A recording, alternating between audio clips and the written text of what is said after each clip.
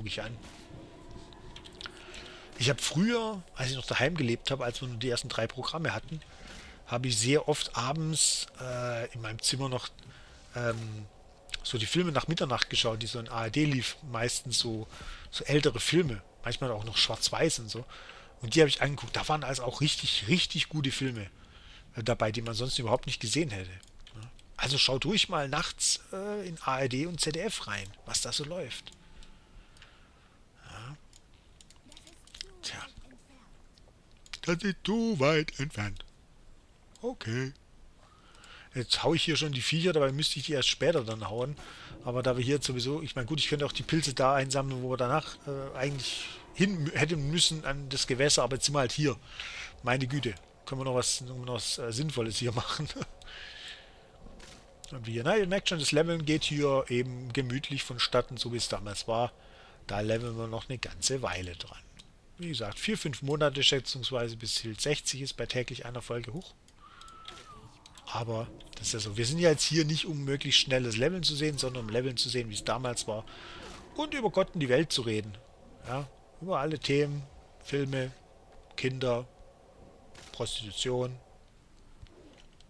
Dummheit, ne? alles, irgendwann alles. Manches wird auch doppelt und dreifach abgedeckt werden, weil mir dann einfach da noch was dazu einfällt oder hier noch was dazu einfällt und so, ja, Gott, so bin ich halt, meine Güte. Jo, jubel, jubel, freu, freu, Level 18. Oh, wir haben zwei Punkte nicht mehr verteilt. Das... Äh, nein.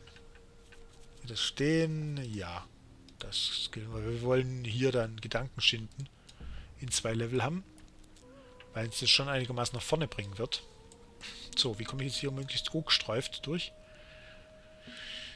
Ja, gute Frage. Schwimme ich rüber? Ja, komme ich glaube ich schwimmen rüber. Und hoffe, dass ich nicht allzu viele pull. Weil ich möchte jetzt schon gerne, seht das ist ja Pilzspuren grün geworden. Pilzsporen, nicht Spuren.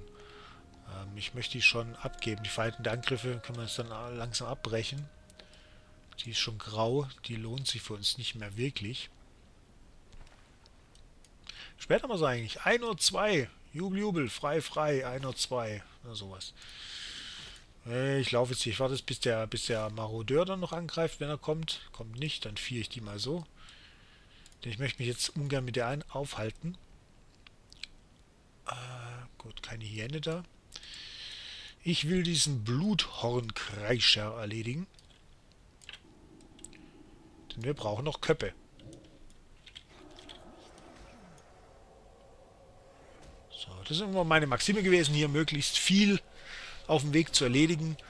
Am schönsten für mich war es immer, Verzeihung, ähm, wenn im Questlog möglichst viele Quests drin waren, daneben immer fertig gestanden ist und ich dann, die dann alle auf einmal abgeben konnte.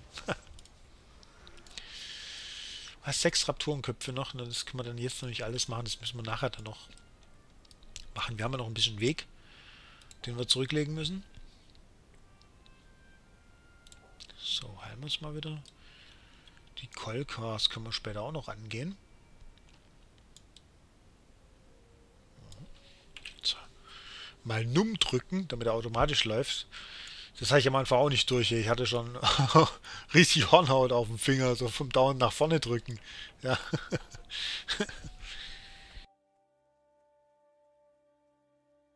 Ja, man lernt dazu. Niemand kommt als perfekter WoW-Spieler auf die Welt. Dürft ihr nicht vergessen. Denkt dran, wenn ihr mal wieder Neulinge trefft auf euren offiziellen Servern. Ja. Also nicht so viel, ey, Kacknoob, du, bäh, bäh, bäh, du weißt ja gar nichts. Roffel, Roffel. Ja. Seid nett zu Neuen. Denkt dran, ihr wart auch nicht anders. Denn ihr schadet damit im Endeffekt nur dem Server, wenn ihr es nicht seid. Denn dann sagen die, nö, komm, pf, da habe ich doch keinen Bock, dann gehe ich wieder. Ja. Und ihr schadet nicht nur dem Server, weil er keinen Nachwuchs bekommt, ihr schadet auch WoW damit. Ja. Denn ganz ehrlich, wenn ich ein neuer Spieler wäre und ich würde auf einen offiziellen Server kommen und würde da bloß hören, oh, Roffel Kacknoob, du, du Depp, ja, dann würde ich sagen, nee, dann spiele ich kein WoW mehr. Ne? Und wenn WoW dann immer mehr Leute verliert, dann wird es irgendwann, ist irgendwann der Laden dicht. Ja, und dann könnt auch ihr nicht mehr spielen, ihr Pro-Gamer da draußen. Zumindest kein WoW mehr. Und dann kommt das nächste Spiel, wo ihr dann wieder die Kacknoobs seid. Ja, wer wäre das Echten? Heute bin ich der Kacknoob. So.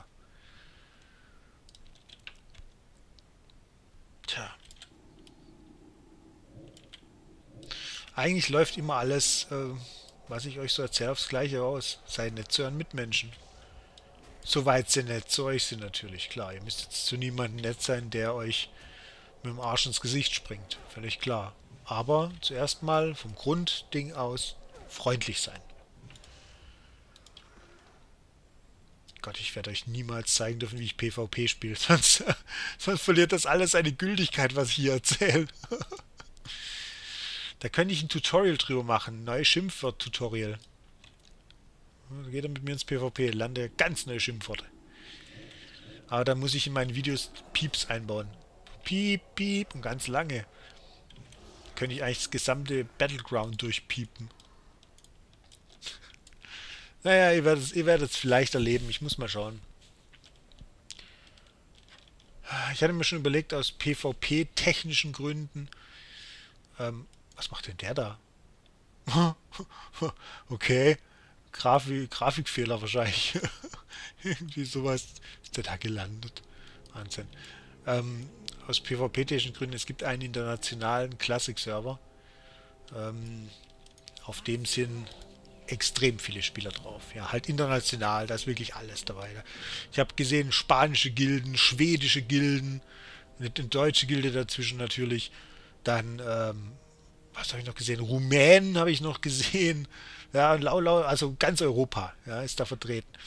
Und äh, da scheint ziemlich viel PvP abzugehen. Also wenn ich euch PvP zeigen möchte, dann, äh, also klassisches PvP, dann werde ich vielleicht da noch ein Char machen. Ach ja, da habe ich nur eine gewisse Zeit, um zu, zu Summer zu kommen. Nach Thunderbluff interessiert uns aber nicht. Wir fliegen darüber. Wir haben einen Flugpunkt.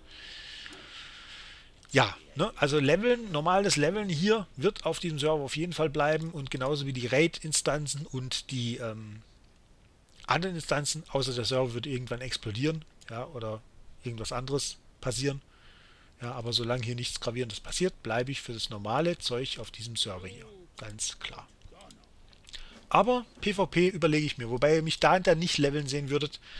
Da würde ich dann ähm, auf 60 Offscreen hochleveln und euch dann, wenn ich PvP mache, dann PvP dort zeigen. Allerdings nicht, also wahrscheinlich nicht mit dem Priester. Da werde ich mir dann irgendeinen anderen Schau suchen. Ne? Ich meine, Priester seht ihr hier und ähm, Druide seht ihr in BC. Und ja, ich weiß noch nicht, was ich nehme. Ich meine, gut, vielleicht doch ein Druiden. Der Druide hat schon Spaß gemacht, gerade im Warsong. Flagge schnappen und so weiter. Hm. Paladin wahrscheinlich eher nicht. Weil man müsste ich Allianz spielen und ich spiele ich spiele nicht Allianz. Ich spiele höchstens Allianz, um euch mal zu zeigen, wie Allianz war.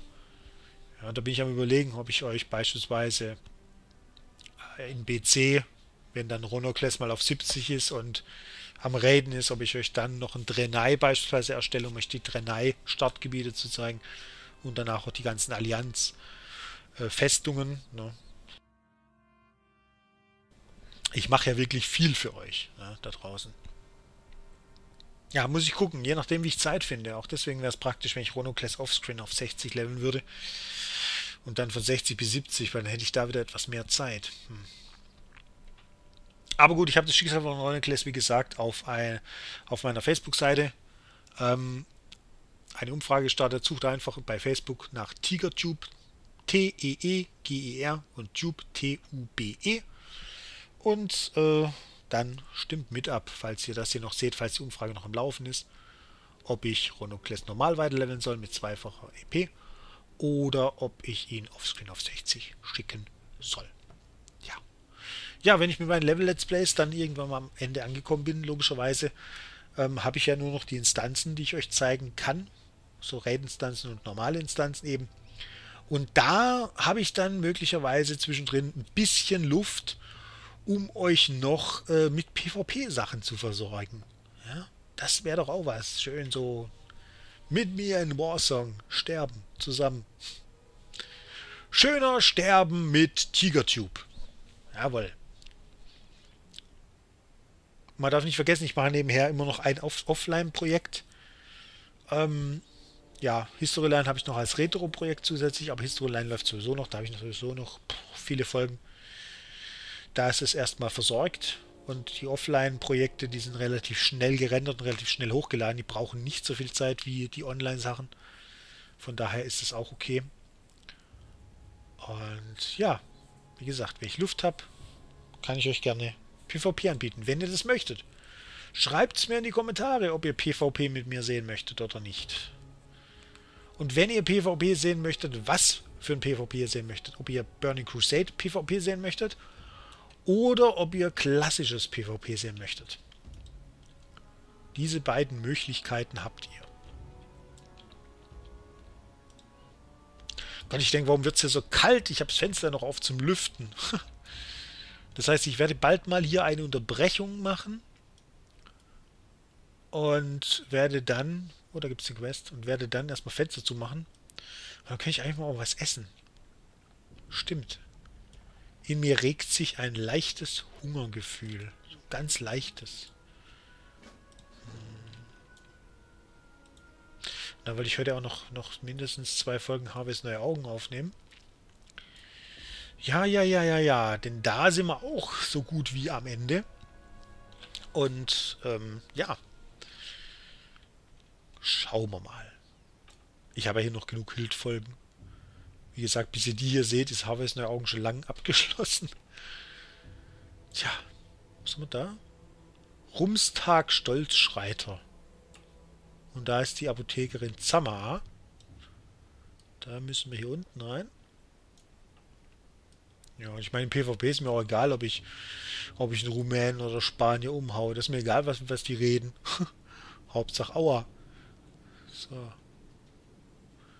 Ah, stimmt, ich glaube, hier kann ich gleich für HDW noch was holen. Die Schlangenflaum, oder?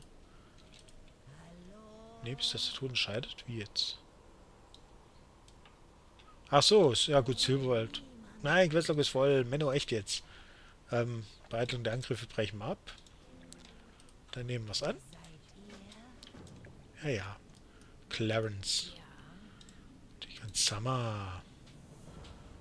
Hm, ja, ein netter Stab. Was nehmen wir denn? Was nehmen wir denn? Was nehmen wir denn? Was nehmen wir denn? Gesundheit ist mit Sicherheit nicht verkehrt. Ja, nehmen wir Gesundheit. Komm. so. Ja, Schlangenflaum ist HDW. Genau, richtig. So. Dann sammeln wir schon mal die HDW-Quests hier zusammen. Vielleicht können wir jetzt auch in Ratchet äh, die... die äh nee, warte mal. HDW war nicht Ratchet noch. Was war, wo war denn HDW noch? Ähm, HDW war noch oben drüber. Ach doch, Ratchet, klar, hier, hier mit dem, mit dem, mit dem, mit dem, mit dem, mit dem, mit dem Dingens. Ach, mit dem Dingens. Warte mal, wie ist denn das?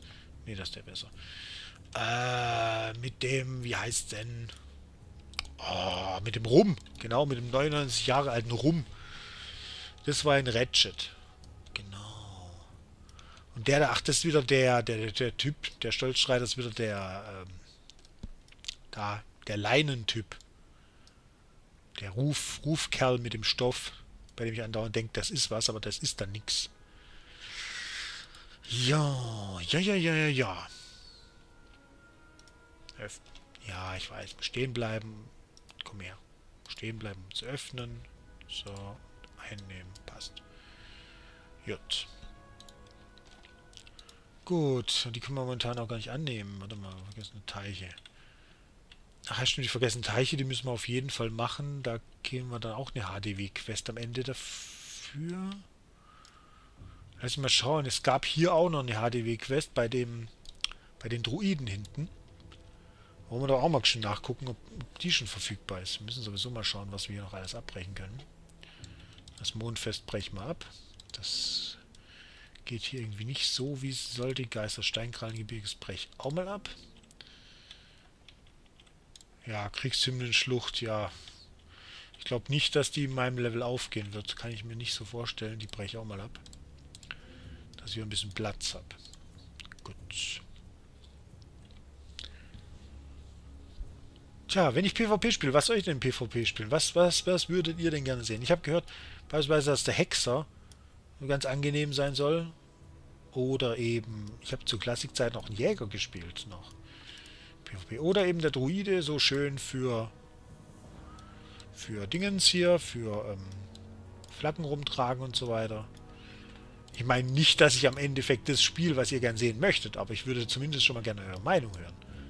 Na, das kann man machen. Nee, hier ist nur nichts. Ähm, nee, den lasse ich mal. Ich fliege darüber. Wobei ich direkt... Soll ich direkt nach Ratchet? Lass mich mal überlegen. Lassen Sie mich mal überlegen, ob ich direkt nach Ratchet soll. Was haben wir denn da drüben noch?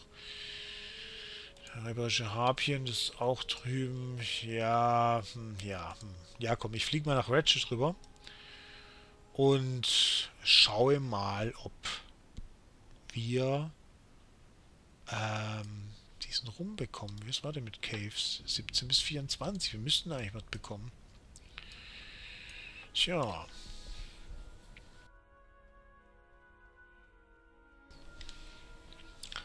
So, Berufe werde ich mit ihr hier jetzt nicht so sehr skillen. Ich habe, äh, was Schneiderei angeht, habe ich mit Todesengel schon einen relativ hohen Schneider. Das reicht erstmal. Äh, verzaubern muss ich mal schauen. So, ab nach Ratchet. Gut, Gold. Da haben wir noch ein bisschen was zum Verkaufen. Da haben wir noch ein bisschen was zum Verkaufen. Das ist alles voll da rein, den können wir da rein. Die Forelle behalten wir auch mal. Vielleicht wollen wir doch kochen lernen mal. Später. Den Kesselrührstab können wir auch verkaufen. Ja. Gut. Die werden wir vielleicht für, für Auktionshausen. Mal schauen. Was haben wir hier noch drin? Nix. Okay. Können wir die dann nach da hinten rüber schieben. Die wir noch brauchen. So, und das wird alles verkauft. Gut. Den Signia habe ich dabei als, als Talisman hier. Die hatte ich früher schon mal als Talisman. Die hebe ich auf. Bis wir Level 60 sind. Ja. Latenz ist gut. Wunderbar. Kann man nicht meckern. Ich bin gespannt. Ich wollte eigentlich äh, einen Timer dazu laufen lassen, damit ich weiß, wie viel ich, wie viel ich jetzt schon aufgenommen habe wieder. Boah, ich bin mal gespannt. Ob es eine Stunde geworden ist? Ich weiß es gar nicht. Könnten auch nur 40 Minuten gewesen sein. Gucken wir mal. Ihr habt ja Glück, dass ich keiner der Let's Player bin, die ihre Folgen auf 15 Minuten schneiden, sondern dass ein Let's Player bin, der seine Folgen auf 20 Minuten rum angelegt hat. Ich meine, es kann mal, es können mal 16 Minuten sein, ja, aber es sind auch mal 24 Minuten. Ja, also so die normale Folge von mir hat um die 20 Minuten. Tja, habt ihr 5 Minuten mehr als bei manch anderen. So bin ich zu euch. Hm. Die blühende Oase, da müssen wir nachher auch noch hin, aber wir müssen erst, lass mich mal gucken, wir müssen erst hier oben irgendwo hin. Also, äh, ja gut, ihr seht die Maus ja wieder nicht. Ach, das ist blöd, dass man die, dass man die Maus hier drin nicht ab, abgreifen kann irgendwie. Ärgerlich. Aber gut, ist nicht zu ändern. Damit müsst ihr leben. Muss ich euch mal erklären, wo immer alles ist. So, jetzt, ja, wir schweben wieder und fliegen wieder. Gut.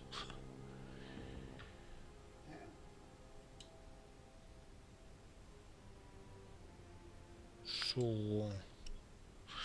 Ja, morgen Abend ist wieder Raid, liebe Freunde. Da könnt ihr dann wieder Todesengel bestaunen. Falls wir wieder einen neuen Boss legen. Wird ja jeder Boss nur einmal aufgenommen. Also die Versuche davon natürlich auch. Alles, was so dazugehört. Deswegen ist Magma da auch 50 Minuten lang. Wenn es beim ersten Mal klappt, ist natürlich auch schön, wie jetzt bei Lucifron oder bei äh, Baron Geddon. Ja, kann ich sagen. Den Geddon habt ihr auch schon gesehen, wenn die Folge hier rauskommt. Deswegen spoilere ich da nichts. Ja.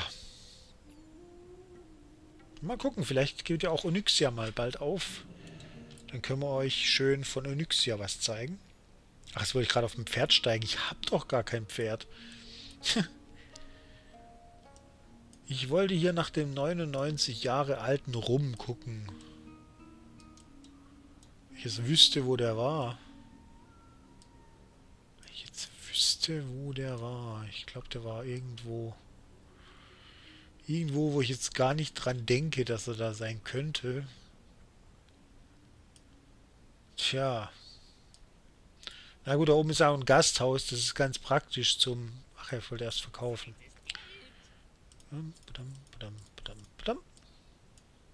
Ja, mal reparieren für vier Kupfer. Kann man das mal machen. Hm. Dann buffen wir mal, wenn wir noch hier sind. So. Gut, wir gehen jetzt mal hier in das Gasthaus. War hier nicht irgendjemand? Irgendjemand? Nee. Ähm, was zum Sitzen? Ja, haben wir. Gut, dann beende ich jetzt erstmal diese Aufnahme. Ich bedanke mich fürs Zuschauen. Hoffe, ihr hattet Spaß dabei. Wünsche euch wie immer einen schönen Morgen, Mittag oder Abend, je nachdem, wann ihr dieses Video anschaut. Und würde mich freuen, auch bei euch auch beim nächsten Mal wieder hier bei mir begrüßen zu dürfen. Bis dahin, macht's gut und ciao, ciao.